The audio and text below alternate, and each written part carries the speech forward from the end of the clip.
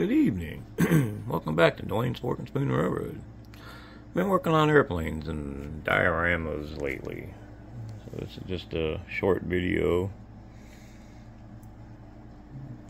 The P47 and 148 scale. And this is the Hellcat in 172nd scale. I'm starting to build small diorama sets.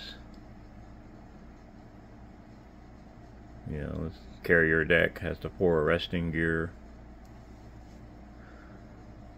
So there will be more videos to follow of more aircraft scenes that I'm working on.